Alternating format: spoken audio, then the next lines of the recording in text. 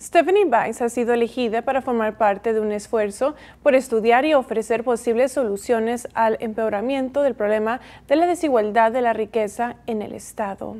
El panel de 14 miembros estudiará las causas y consecuencias económicas, según una descripción en la página web del comité.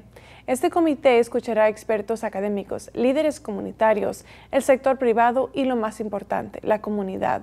País dijo que el comité ya ha comenzado a trabajar y potencialmente podría proponer una legislación en algún momento del próximo año. La compañía Racing Canes anunció que a partir de hoy todos los trabajadores por hora en Oklahoma recibirán un aumento promedio de 2 dólares con 40 centavos la hora en su salario. Esta medida se produce después de que la compañía anunciara planes agresivos de crecimiento en el 2022. Estos planes incluyen la apertura de 100 nuevos restaurantes en más de 10 nuevos mercados. En preparación para ese crecimiento, Keynes se ha fijado la meta de contratar 10.000 nuevos trabajadores durante los próximos 50 días.